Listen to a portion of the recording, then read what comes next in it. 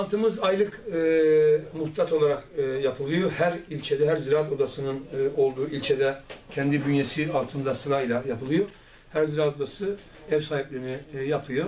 Biz geçen ay Ünye'de yapmıştık. Ünye'den sonra İkizce'de yaptık. İkice Ziraat Odası'nda yapılan toplantı biraz daha kapsamlı oldu. E, sebebi ise e, fındıkların e, fındık fiyatının e, 14 liralardan birdenbire 9 liralara e, düşmesiydi. E, Bununla alakalı e, her Ziraat Odası Başkanımız kendi bölgesiyle ilgili ve e, pozisyonuyla alakalı düşüncelerini söyledi. E, bir takım kararlar aldık, e, şifai kararlar aldık. E, e, ufak ufak eylemler yapmak istiyoruz. Artık eylemler, söylemler eylemlere geçecek. İşte bunun birinci ayağını Ankara'ya gitmek istiyoruz. Ankara'da vekillerimizle istişare yapacağız. Ben Ünye olarak burada zaten borsamızla, ticaret odamızla bir toplantı düzenledim. Hatalarımız bizim de olabilir. E, biz de nerede hatalar yapıyoruz e, diye e, karşılıklı fikir alışverişinde bulunduk. Bunu daha kapsamlı e, Ankara ayağına e, taşımak istiyoruz. E, bir diğer konu e, bölgedeki ziraat odası başkanlarını Ordu'da misafir etmek, fındığın geleceğiyle alakalı radikal kararlar almak istiyoruz. E, neler yapabiliriz? Çünkü e, maliyeti 7 liraya geçen bir ürün 9 liradan elimizden alınmak isteniyor. Bunu doğru bulmuyoruz. Üreticimiz bu fiyatları hak etmediğini düşünüyoruz. E, maliyet e, 3 lira, e, 5 lira neyse olur aşağıda olur da siz de fındığı maliyetin iki katı satarsınız. E, ama bu geldiğimiz nokta çok hoş değil.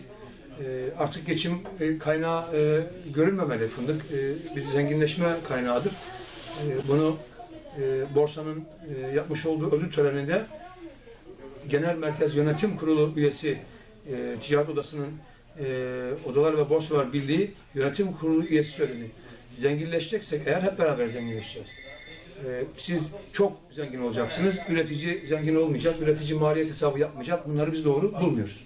Ben e, Sayın Cumhurbaşkanımıza teşekkür etmek istiyorum. E, cevap geldi yazdığım yazıya. Orada dilekte bulunmuştum. E, biz o toplantıdan muhtar olarak e, bulunduk ama ben e, konumum gereği biraz da farklı e, yansıttım dileğimi. E, Karadeniz bölgesini gündeme aldım.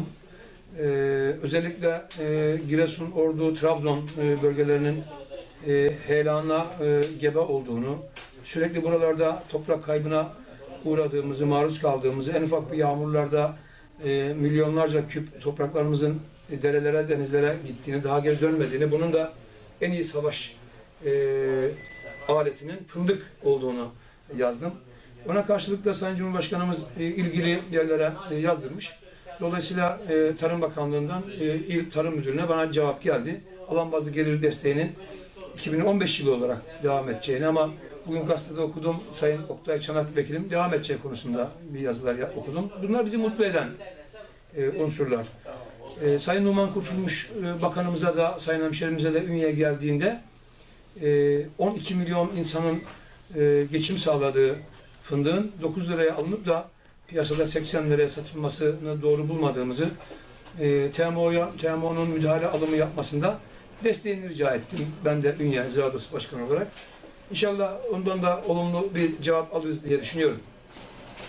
Bekleyip görmek lazım. Ee, Öyle olur ya da şöyle olur demek çok erken şimdi. Ama bu şekil giderse yani fındık fiyatlarını aşağıya e, çekmeye çalışırlarsa üretici fındığına küser. Ben bunu e, net söylüyorum. Son 3 yıldır, e, son 4 yıldır e, başkanlığım dönemimde yaptığım gözlemimi e, açık söylemek istiyorum. Fındığın fiyatı 10 liralara yukarıya çıktıkça insanlar arazilerine çok daha iyi bakıyorlar. Biz bir kere önce üreteceğiz, çok üreteceğiz. Biz verimde 80 kilogram, 120 kilogram arasında fındık alıyoruz. E, bu bizim maliyetlerimizi çok yukarıya çıkartıyor. Ama biz e, kilogramı dönüm başı 150 kiloya, 200 kilolara, 250-300 kilolara çıkardığımız zaman maliyet de ona denli aşağıya düşecektir. O zaman bakarız. Devletin şefkatli eline bizim işte orada ihtiyacımız var. Brezilya'da siz hiç e, e, kahve çok oldu, kahve işte fiyatları şöyle oldu, böyle gitti, spekülasyon haberi duydunuz mu, duymadınız. Devlet onu ayarlıyor, ayarlıyor Brezilya'da. Biz de devletimizin şefkatli elinin omzumuzda hissetmesine ihtiyacımız var. Devletimizin şefkatli elini omzumuza görmek istiyoruz.